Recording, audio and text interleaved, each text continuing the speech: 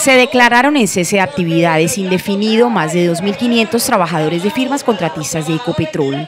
En la protesta que se encuentra en la puerta norte de refinería hacen presencia dirigentes sindicales de la uso quienes exigen a la empresa colombiana de petróleos cumpla con las garantías pactadas para los empleados. Para el día de hoy hay una movilización de todos los trabajadores contratistas, de todos los trabajadores al servicio de firmas contratistas que laboran al interior de la refinería, quienes se han declarado en asamblea permanente por una serie de incumplimientos sistemáticos de orden laboral por parte de Ecopetrol. Sosa aseguró que hasta el momento la empresa colombiana de petróleos no se ha pronunciado sobre estos requerimientos. La organización sindical en el año 2014 firmó un acuerdo en el marco de la negociación para que de manera anual la empresa y sindicatos revisaran todas las condiciones contractuales y prestacionales de los trabajadores de firmas contratistas.